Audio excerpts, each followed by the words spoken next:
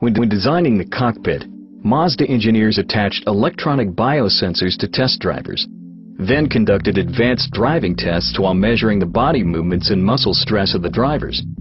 What they learned resulted in an improved steering wheel angle, a custom steering wheel rim design, a reshaped accelerator pedal, and a repositioned gear shifter.